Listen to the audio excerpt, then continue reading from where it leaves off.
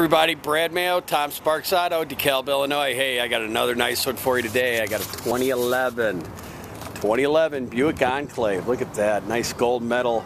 I think it's called gold sand metal metallic, something like that. I don't know. It's got chrome wheels, nice roof rack up there, CXL model. Uh, it's got the backup camera and you got the rear backup assist. Also has the power tailgate. You have remote start and keyless entry on the fob too.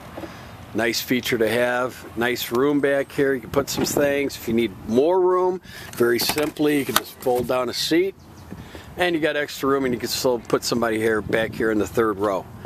Uh, cup holders back here. Nice unit. Push that button, that takes it right down. Sharp line on this vehicle. Look at that, huh? All-wheel drive, 3.6 liter V6, plenty of power. Uh, good towing capacity if you need it. Nice, nice cream interior leather, bucket seats back here. Nice clean back seat as you can see.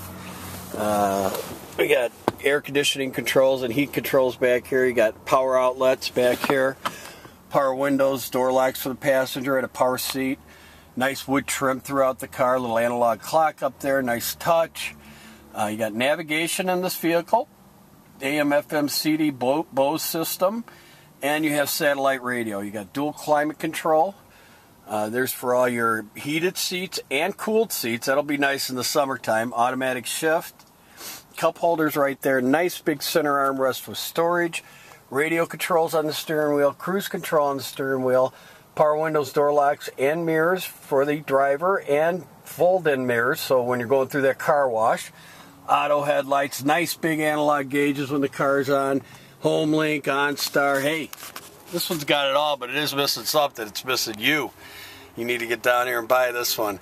Ask for Brad. Thanks for watching, and I hope you have a great day.